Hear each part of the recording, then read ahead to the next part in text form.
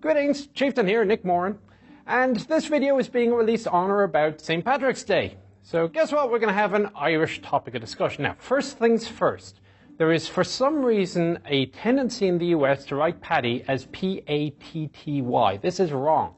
And it drives people in Ireland absolutely up the wall. You go to Dublin Airport, there's big signs. There's even a website, paddysnotpatties.com. So I just want to get that out of the way. It's uh, Pat, Paddy, Patrick, but not Patty. Patty was a character out of uh, Snoopy cartoons. War green, peppermint name. Anyway, that's beside the point. Uh, so where are we coming from? Where am I coming from? Well, uh, last video, somebody complained that I kept showing the same photograph of myself say, this is who I am. So just for that individual, here are a couple of different photographs. You may know that I currently drive a desk. That's one of the problems of being a field grade officer. Before I drove a desk, I drove Bradleys. And not too many people seem to know that, or commanded them, I guess. And before Bradley's, I was an Abrams tanker. Fantastic, but that is about as far back as most people know my background. Before I was an Abrams tanker, though, I was a Trooper Moran of the Irish Defence Forces on Fórsa Cosanta Áitiúil, which are the Irish Reserves. And there's a wonderful photograph there of myself in my finest number ones uh, and another one of uh, just being off in your typical field exercise, great Irish dreary weather, the rain, uh, the cup of tea in the back of the truck.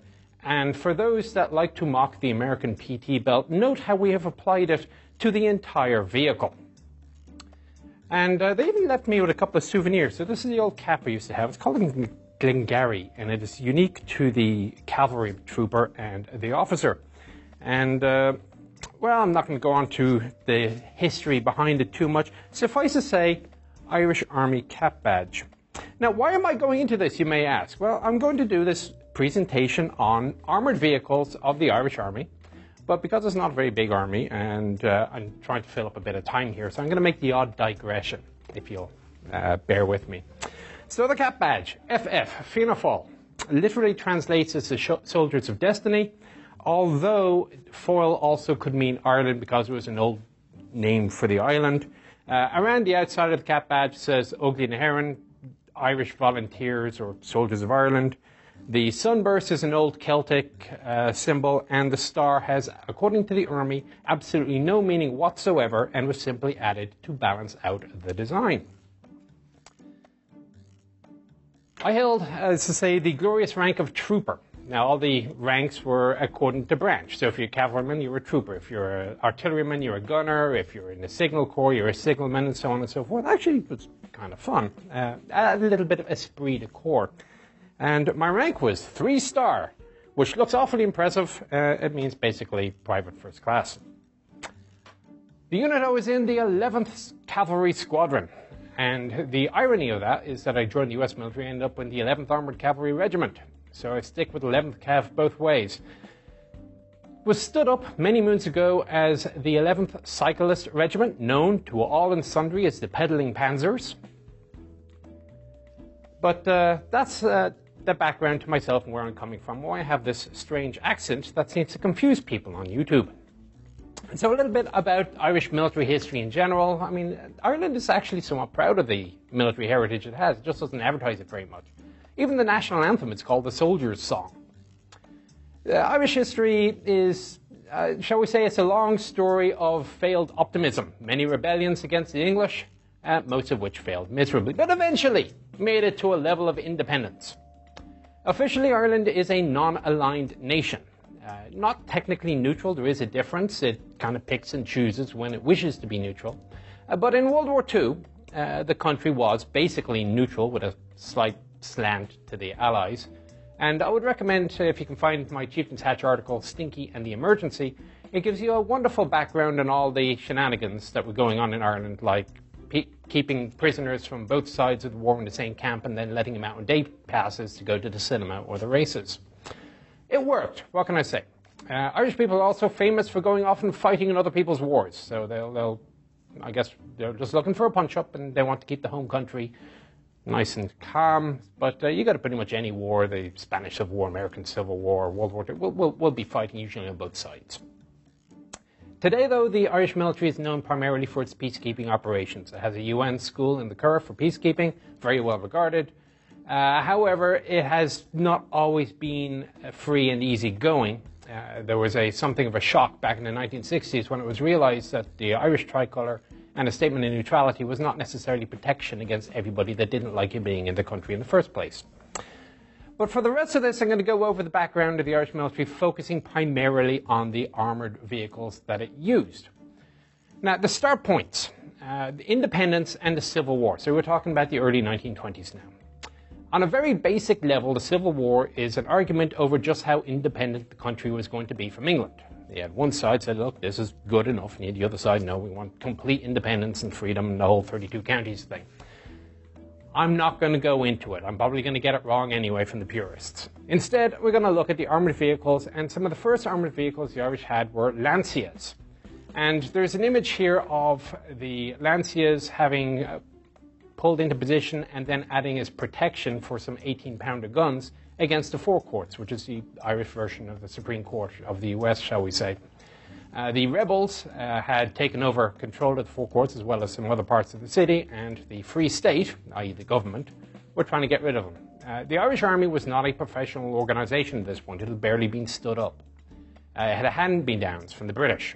Uh, the gunners didn't know how to use the 18 pounders, they simply fired over open sights but they learned on the job. The Lancia armoured car, 111 of them were transferred over from the British. Many of them were 1916 era Lancia 1Zs, and the rest were 1921 era Triotas. Uh, some of them had cages added to the top to stop against grenades being lobbed in. They were known as cage cars. They carried a crew of three plus 10 dismounts in the back a whopping 35 horsepower engine with a top speed of approximately 60 kilometers an hour. The thing weighed about 3.7 tons.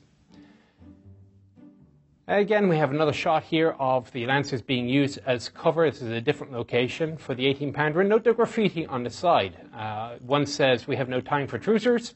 And the other one on the front says, For goodness sake, shoot straight. The Irish Civil War was actually quite a vicious little event. It doesn't get very much notice, but uh, it was uh, noted for its violence and uh, extremes, shall we say. A number of the Lancias were modified for railway protection, and this basically turned them into self propelled armoured trains. You take the wheels off, replace them with railway wheels, and off you go. Irish rail gauge, by the way, is 5 foot 3. So, how that matches in directly with the Lancia, I'm not entirely sure, but a number, as I say, were changed over. Now, the other significant armoured vehicle that the Irish had at the time was the Peerless armoured car. And this was basically an armoured body on top of an American TC 4 Peerless truck. And uh, the armoured body wasn't even long enough to cover the entire flatbed. Note the overhang uh, at the back, where uh, behind the rear axle, where the flatbed continued, but the armoured body did not.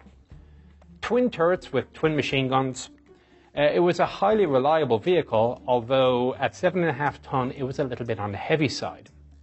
A couple of them have been uh, retained in good running order. One of them is in Bovington, and you'll see it there in British colours. The other one, AP1, and the marking system is actually fairly simple. It was uh, Armour Car Peerless 1. Uh, is in its old slate grey in uh, the Curragh Museum in Ireland. Could do 18 miles an hour in theory, but it was limited to 12. Now, although it was very reliable, it was road bound However, it was used in one of the first ever amphibious assaults uh, involving armor. And this was an attempt, actually a successful attempt, by the government forces to go around the back of the rebel lines and simply take their centers of gravity, the cities mainly, from behind. The armored cars were basically craned onto ships in Dublin and whatever they could do to get off at the other end. So the photo here is with the Peerless coming off of Arvonia in Cork. Now the problem is that the ship arrived at night and then they realized that they couldn't actually get the armored car off the ship easily. They ended up using a combination of ramps and cranes to get the thing off. It was considered so much of a hassle uh, that for future operations they moved to other uh, armored, lighter armored vehicles. So the actual first amphibious assault that I'm aware of with armored vehicles was actually in Mayo, uh, just before the Cork one, uh, but that also required the use of a crane. The pride and joy of the collection in the Curragh, and by the way, if anybody in the Curragh is watching this and might want us to do an on-site view of the vehicles you have in the collection, please let us know. I'm sure we'll be happy to go over and do some footage. Uh, the pride and joy is the Rolls-Royce armoured car, ARR2, known as Sliabh na mBan. Uh, the Rolls-Royce armoured car was, uh, firstly, an incredibly elegant vehicle. Uh, it's uh, the one in the UK, in Bovington. It's David Fletcher's favourite vehicle in the entire museum, and it's very easy to see why. Highly successful, saw service worldwide, even saw service at the beginning of World War II. Thirteen of them were given to the Irish, and they were all given names. Sliabh na mBan uh, was uh, the armoured car that was part of the escort to Michael Collins when he was killed, and that was the one that was retained. Originally, it had the English spelling of Sliabh na. Uh, sometime in the 1960s or so, they changed it to the Irish. Uh, the rest of them were sold at auction in 1954. They hung around for quite a while. One of them, Tom Kao, is restored and it's owned by a private collector in the UK. If you have a look on YouTube, uh, my English counterpart, Challenger, actually did a video piece on Mán when it attended Tankfest. And the soldiers there will give you a rundown on the vehicle, how it operates, the strange starting system, and so on. It's, it's not obviously what you would expect to find in a modern vehicle today. On this picture, again taken during the emergency, which is what Ireland called World War II, note the Rolls Royce armored car next to a bloke wearing what looks like a German helmet. It was a 1927 Vickers design. The Irish actually liked the idea of the German helmet with the uh, low rear, but the Germans were not allowed, as part of the Versailles Treaty, to build them. So they went to the British and said, Vickers, would you mind awfully, can you have some helmets of this German design? They weren't very successful, and frankly, they looked too German, especially once the emergency happened. And the Irish went on to uh, the more typical British uh, wide brimmed helmet. The rifle the guy is carrying is a Lee Enfield number two. The vehicles were 55 to 60 miles an hour in service, very fast. They had an 80 horsepower engine, and they were very reliable, very quiet, known as whippets locally because of their quiet speed. Now, the first tank that they got was a Vickers Mark D, uh, very closely related to the Vickers Mark C you may have seen uh, in the background to the Japanese tank tree because the Japanese bought the Mark C. Only one Mark D was built. The Irish took it.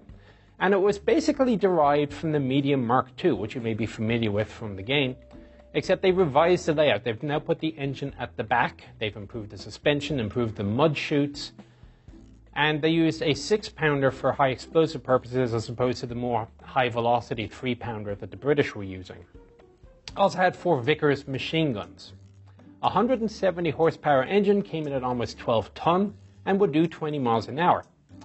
It was tested in the UK by Ireland's tank expert, Lieutenant Sean Collins Powell. He was the nephew of Michael Collins. He was trained at Aberdeen in the US in tank usage and was then sent to the UK to test out the vehicle before bringing it back to Ireland. The vehicle was out of service by 1937 and was scrapped three years later. Then we move on to the Landsverk L60. And one of the odd things about the Irish military is they seem to always name their equipment after the manufacturer, not after the model number. So you will know this as the Landsverk tank, not the L60.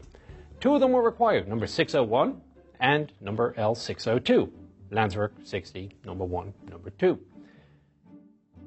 Now, these showed up in 1935 and 1936, and the idea was to have a little bit more capability for training in both tank and anti-tank operations. If you only have one tank, i.e. the Mark D, it's very difficult to do things like bounding overwatch uh, or how to deal with mass tank attacks. So by adding two more tanks, they now had three tanks and could do the appropriate multi-tank training. They would have a little towed trailer uh, that if they had to be transported around the country, uh, you'd run this thing up onto the towed trailer and tow it behind a truck, and that kept the wear and tear down both on the vehicle and on the roads. However, they were off the road by 1953 simply because they couldn't find spare parts for them anymore, and they were officially declared useless in 1968 because they ran out of ammunition for the Madsen 20mm uh, and the Madsen 303. 15 millimeters of armor, 30 miles an hour, 7.5 ton. It was actually a very good vehicle. I've uh, had the pleasure of clambering around one in Sweden, and it is surprisingly roomy inside considering how small it is.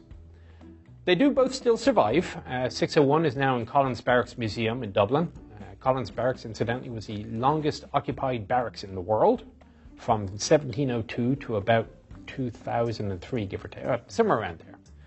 Nearly 300 years. Uh, and L602 is a runner, so she is still part of the cavalry collection in the Curragh. And again, Curragh lads, if you are interested, we'll happy come and see you. So your next armoured car, there's many armoured cars in this list. The Leyland Terrier TE2. Early 1930s, the Peerlesses are getting on a little bit in age, and the solution was to take the body of the Peerless armoured car and plonk it onto a modern 4 6 chassis. The result was unsatisfactory, so they tweaked it again. Uh, they removed the Peerless body and turret and they replaced it with a turret from Landsverk, uh, mainly for commonality. Uh, the Landsverk tanks rather impressed the Irish, it seems, so uh, they stuck with Landsverk for quite a while. They were rebuilt again in 1957, re-engined with a Ford V8. Uh, they had the Madsen 20mm in the, in the Landsverk turret and would do 45 miles an hour at 155 horsepower. The closely related vehicle was the Landsverk L180, known as the Landsverk armored car. Eight of them were purchased. Uh, again, they liked Landsverk. They figured let's have the commonality. They had the Landsverk turret. They had the 20mm cannon. Attempts to buy an additional five uh, in the late 30s were cancelled due to embargoes against Landsverk. Landsverk was basically a shell for the Germans. Uh, since the Germans officially were not allowed to have their own armaments industry of that nature, uh, they basically went to Sweden and gave them lots of money and designs, and they did their development work there in effect. And so any attempt to purchase equipment from Landsverk was basically deemed to be aiding the German arms industry. It was not well regarded at the time. The original configuration, he had solid tires, 20mm again, the Madsen. Later on, by 1941, actually very quickly, they moved to pneumatic Dunlop tires. A Ford V8 again showed up in the 1950s, and the cannon was changed out for Hispano Suiza 20mm in the 1970s. They got the 20 millimeter from the Vampire fighter jets that were going out of service. There's a lot of recycling uh, in the Irish system. Originally, the top speed was 50 miles an hour from the 160 horsepower engine. Later on, with the new tires, it went up to 60 miles an hour. In terms of general appearance, they were very similar to the Leylands, uh, but they had a higher rear for the rear facing driver. So this is one of those earlier armored cars that had drivers going forwards and reverse to get yourself out of trouble about as quickly as you got into trouble in the first place. And this design philosophy kept on. You'll see it in the armored cars that Germany produced the heavy 8 rads and some of the 6 rads in uh, World War II period. The French, after the war, kept it up. You'll see it on the Panhard EBR, for example. And indeed, the Spähpanzer Luchs, up until out of service maybe 15 years ago, uh, also had the rear facing driver. So it's an idea that never really went out of style. They went out of service, this 1939 vehicle, in 1982. And there are still a couple of survivors scattered around. All right, so now we're moving on to some of the more operational vehicles. This is the Ford Mark V or the Ford Mark VI. And you start off with a Fordson E88T truck, very basic civilian truck. You add armor to it and a Vickers machine gun uh, or a Hotchkiss machine gun in the Mark V. It was done by Thompson in Carlow in 1940, and they were kept around in service for quite a while. Now, this white one, ONUC, the United Nations mission in the Congo. Yes, these were sent to the Congo 20 years after they were built. Two of them were at the siege in Jadotville. So if you've seen the movie on Netflix recently, yay, the Irish get a movie, um, people will wonder how it was that a force of a hundred and something Irishmen held off several thousand opposition without taking a single KIA. And part of the reason uh, was that not shown in the movie were a couple of these armored cars. Now, these things were ancient at this point. However, they were armored cars with Vickers machine guns. And if you're not doing very much maneuvering, and if the opposition doesn't have any armor of its own, you have a very decided advantage. So these things were very, uh, very critical in the siege, and they didn't get any, uh, any attention, shall we say. Uh, they were very reliable, at least on the roads, uh, not so much off the roads, and they were gone uh, by the 1970s. Now, the Congo was that wake-up call that I mentioned earlier that perhaps the Irish military needed to advance on in years from the World War II equipment and training that it had. When it went off, uh, they were equipped with thick wool uniforms and Lee Enfield rifles. And again, to fill up a little bit of time, a little show and tell. One of the nice things about living in California is that you get to own a couple of toys that, um, if you're a collector, I started collecting weapons of the Irish Army. So here we have the Lee Enfield. Now this is the number 4 Mark II of a type which would have shown up particularly for the Congo. A bolt action rifle with its origins before World War I. Don't get me wrong, the Lee Enfield is a fantastic rifle. For modern combat, not so much. So after the first couple of uh, battalions went to the Congo and got massacred, well, not the entire battalion, but the Niemba massacre is well known in Irish military history, they decided it was time to upgrade. And this is why you have in that image the rather incongruous appearance of a World War II, an early World War II homemade armored car, complete with lads walking around with FALs. The aforementioned FAL. Okay, technically, because I live in California, this isn't legally an FAL and ignore the 10 round mag, but you get the general idea. The lads who used to serve with this back in the day are probably reminiscing now with the, uh, the old Energa sight that they had the um, uh, it's been so long. There we go. See your have your grenade sight. But the important thing about this, the right arm of the free world, as they called it, is that you now had a modern semi-automatic rifle with which to uh, defend yourselves. Highly regarded weapon in Irish service. It was brought back in uh, about 2011 as a designated marksman's rifle. And you can't say enough good things about this. So this became the Irish service weapon for the next 20 years, 25 years. And we'll move on a little bit later. That was the other reason that the Jadotville lads were able to survive so well, is they had improved from the 303s. There were still some in the service at the time at that siege, but they also had FALs. Now, the Universal Carrier, the most produced armored vehicle in history. It is not surprising that this also became the most numerous armoured vehicle in Irish history. There were over 200 of them on strength until the 1960s. In the background, more of the armoured cars. They look very similar, they're not, but uh, there were some Dodge armoured cars, again based off of a Dodge truck. It's proving all but impossible to find photographs of these things, so use your own imagination. Something that looks a lot like that in an old Dodge armoured car, good luck. All right, so there's a couple of clips from the archive. Maybe the lads can find on YouTube. And, and disturbingly, there, there's a video there. The FCA, A Cast of Thousands. It's an ancient show, and I actually recognize some of the lads from my old unit. I'm not that old. Am I? Anyway. The Churchill Mark VI. Okay, now we're getting into proper tanks. Four of them were leased from the British after World War II, in 1948 or so. They were purchased after five years, not least because the British didn't want them back. They were, frankly, a little bit obsolete. Uh, the addition of the Churchill uh, gave a couple of problems to the Irish military. The first problem they had was how to get them around the country because they were big, heavy, slow things. So they purchased a Diamond T tank transporter. A Diamond T and there were a couple of problems uh, with recovery as well. So, for example, one of them broke down in the 1960s at Glen of Imaal, which is the Army's firing range. It was so heavy that nobody could pull the tank back to, the, to get repaired. They couldn't fix it either. Uh, so what they did was they dismounted the gun. They brought the gun back to the barracks, and from then on, whenever they wanted to do some targets practice, they didn't bother trying to drag a tank from A to B. They just brought the gun to the tank, fired off the target practice, and took the gun home again. Eventually, they gave up. They buried it in 1967.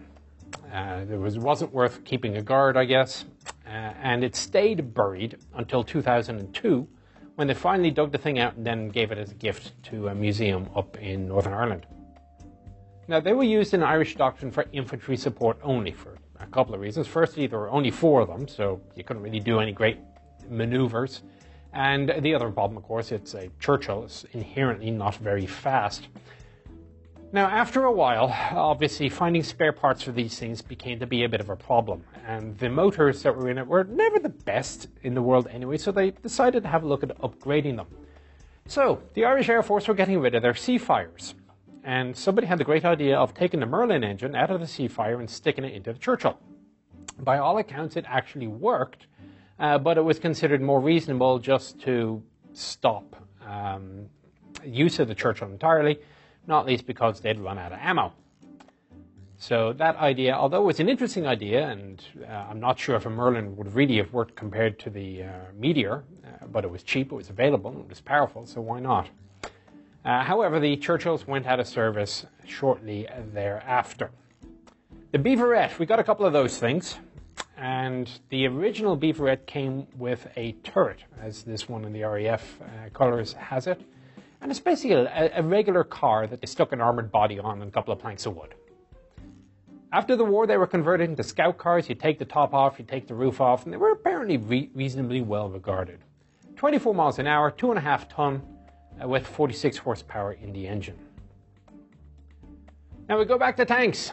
Eight Comets showed up, 1960 or so, but the Irish government couldn't afford any spare parts. Uh, and then the British got rid of their uh, Comet inventory, and they also got rid of the spare parts when they got rid of the Comet inventory. Uh, then they had the next problem, which was that they didn't have any high explosive rounds. Uh, they purchased 500 rounds of APCBC, and that was it. Uh, actually, the problem with the HE round wasn't that they didn't have any, but there was a problem with the fusing, and they were deemed too dangerous to use. So they were fairly popular vehicles, if a little bit impractical, given they only had armor piercing rounds available to them, but they looked very impressive and they were good for training. And there you can see all eight of them, the entire maneuver force uh, of the Irish Army on parade.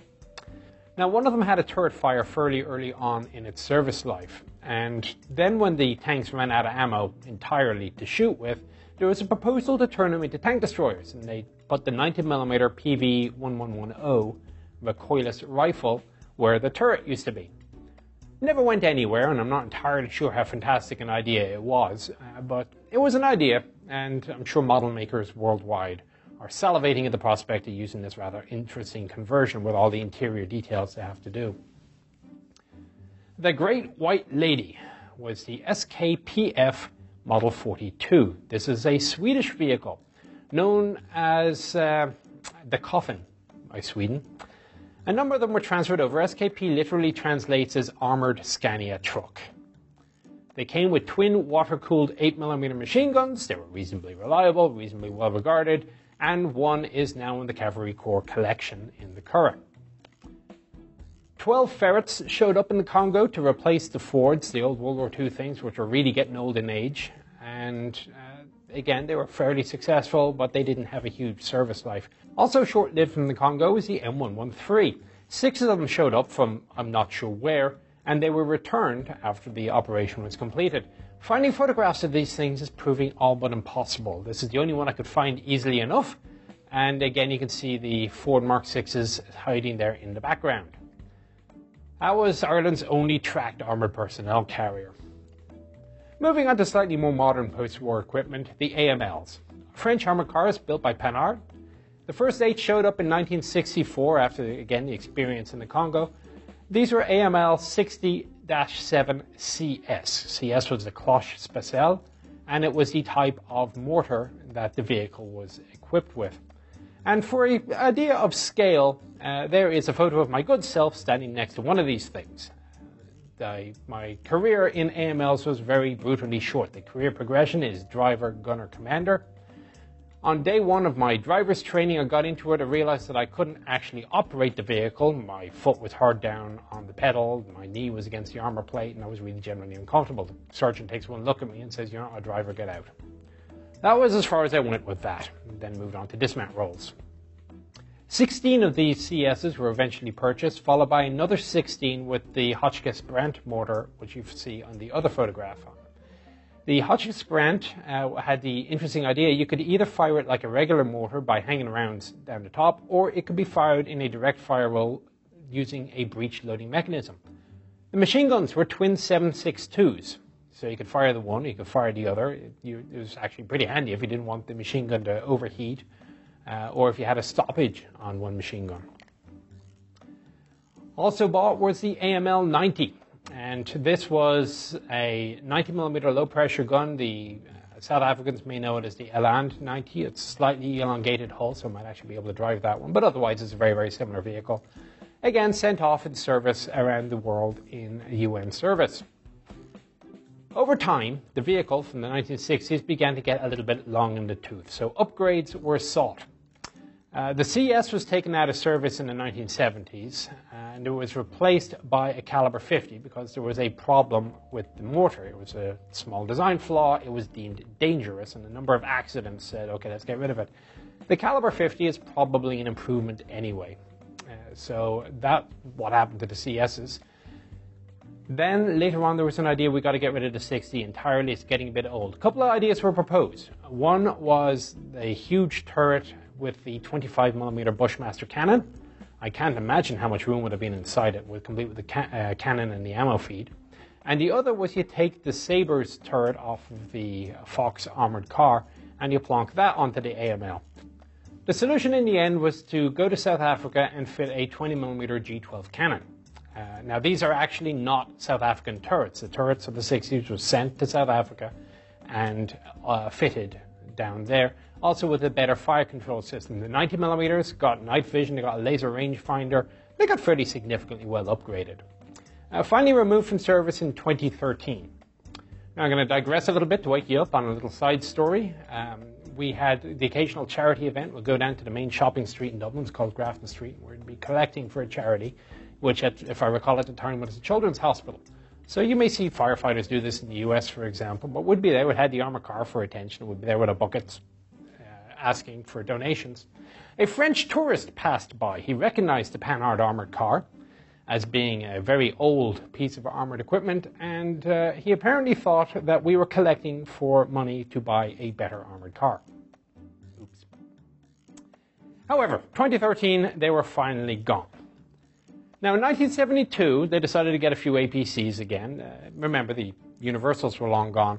They went with the Panhard M3 VTT, vehicle that transported the troop. Who knew? This was basically 95% commonality with the AMLs already in service. So that made uh, work very easy on the vehicle. Uh, 60 of them were purchased in 1972. They carried somehow 10 passengers and two crew. Uh, they had twin 7.62 millimeter machine guns in a well-regarded turret up top. They came with a 90 horsepower engine, the same 90 horsepower engine that the AMLs had. Um, so not very powerful, but it was short and maneuverable in the narrow Irish roads. So it's actually reasonably well regarded, even though it looked absolutely archaic. 14 of them were upgraded with a, a new engine. Where can we get a new engine, they asked themselves, to fit an armored personnel carrier? Well, look no further than the Peugeot 605 passenger car. As it comes with 140 horsepower diesel, good enough. They put that in, uh, 14 of them uh, hang around until the early 2000s. The rest of them were gone by 1996. Now, the Landsverk Unimog. One of the most hideous armored vehicles you will ever see. They were bought bargain price. They were originally going to go to the Congo uh, Gendarmerie, and after the crisis, they were held by Sweden. They decided not to send them overseas and uh, the Swedish had absolutely no use for a large armored vehicle that carried four dismounts with the crew of two. Not knowing what else to do with them, they put them on the open market for a bargain price. The Irish snapped them up. Now, that said, given that they were based on a Unimog, they had excellent off road capability. Unfortunately, they were also very high center of gravity and they kept falling over. So they were very quickly put into reserve service. They only lasted four years uh, in the active military and uh, by 1978 they were on in reserve units. And this was the hand-me-down policy. Basically, generally speaking, if anything was no longer good enough for the frontline troops, they were given to the reservists, and they had a very long service life there. Uh, they were gone from the reserves by 1984. Now, Ireland's great success story in terms of vehicle production is Timoney. They made armored cars uh, back in the day, and today they're well known for their suspension technology. A lot of vehicles around the world use uh, Timoney suspension, such as the Australian Bushmaster, the, uh, the Terrex that Singapore uses, uh, even some of the trucks that are in service with the uh, American military are uh, Irish suspension. For the Irish Army, they built five Mark IVs and five Mark VIs. And if these look a little bit familiar to you, uh, look at the Belgians. They built the BDX, was an internal security vehicle. It's basically a Timoney armor car built with Belgian specifications and painted blue. Uh, they're still in service in South America.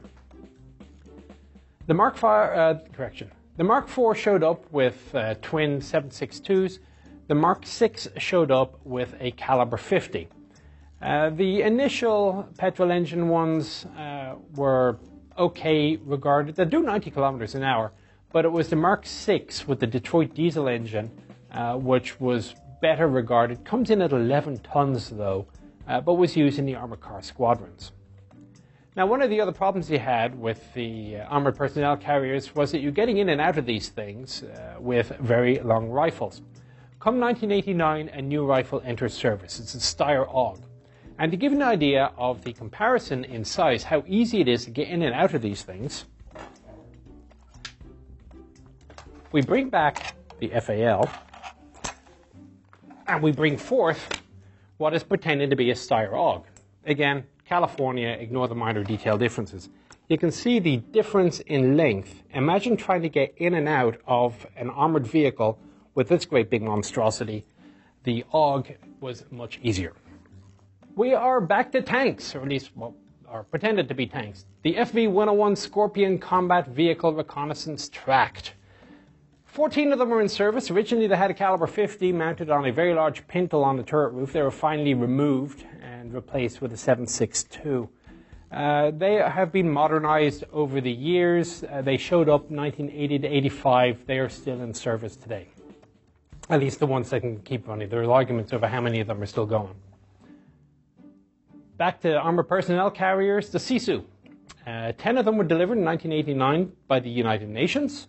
After four years, they decided to add a turret taken off of the old Panhard M3s, again, using what you got to make things last a little bit longer. Generally well regarded, uh, but eventually removed from service, replaced by newer and better pieces of equipment. The current standard is the Mowag, known to the rest of the world as the Piranha 3H and Americans may see a striking resemblance to the Stryker um, interim combat vehicle. It's an 8x8 built by the Swiss. Uh, most of them are armored personnel carriers that came with an unstabilized caliber 50 in a turret. 18 of them were converted into cavalry reconnaissance vehicles by use of the remote weapon station with either a caliber 50 machine gun or a Mark 19 40 millimeter. And these weapon stations are exactly the same as you may be familiar with from US service. They also had medium reconnaissance vehicles, which have a 30 millimeter cannon in a turret, as you would imagine. Good firepower for especially for the weight class of the vehicle. They are now starting a modernization program. The old 50 cal PCs are being upgraded to remote weapon stations of their own. The latest addition to the Irish inventory, at least in terms of armoured vehicles, is the LTAV. It's basically an RG32M, uh, and it is a mine protected vehicle. Again, it can come equipped with a remote weapon station, and these are seeing service in far flung lands, especially where there is a risk of landmines.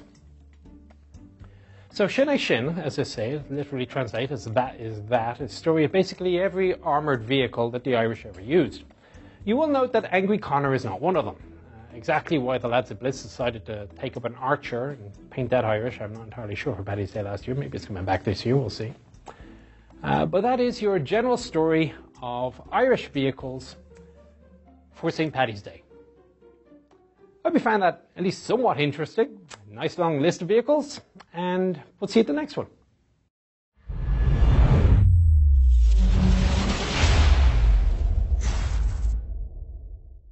So, how did I get into this? Well, a friend of mine basically talked me into it. Thanks, Dennis. And uh, he seemed to be having a good old time. Decided to look into it for myself. Now, one of the differences is that there's no recruiters, as you might find in the US. And they just put an advert in the Irish Times for the regular army and say, hey, we've got 40 position, who wants it? And thousands of people apply. So they pick and choose. Uh, the reserves, being a less well-regarded organization, bless them, they, they do their best, but it's, it's not the National Guard. Um, there seems to be a bit of a challenge. Like step one in the weeding out process is figuring out who to talk to. So like anybody else, I go to the yellow pages. And I go around, start looking around, army, army, army, see defense forces. Go see the defense forces. Eventually I get a number for defense forces headquarters, public affairs. So I give him a ring. Defense Forces Headquarters, Captain Blank speaking. I said, hey, um, how are you interested in joining the FCA? How, how, do I do about that? I said, well, where are you? I said, well, I'm down South Dublin, Clonskeagh area. I said, well, can you get to Cathal Brugha Barracks in Rathmines? Yeah. Great, what would you like to do? And I hadn't really thought about that, actually, that, that far. And I kind of go, mm, well, how about a medic? Do you want to be a medic? I get, maybe they had blank spots in the medical corps that particular day. And I kind of that wasn't really what I had in mind when I was thinking about it. Honestly, it was more like delusions of Rambo. And I kind of hem and I said, "Well, do you want to save people or shoot them?" I said, "Shoot, please." I said, "All right, turn up, show up uh, Thursday evening for the 20th Infantry Battalion," and uh, that's how I ended up going in. Ended up deciding to go cavalry instead. But um, I, th- I, think that gives you a rough idea as to, as to the lark that was the FCA back in the day. Uh, things have improved since, I'm told.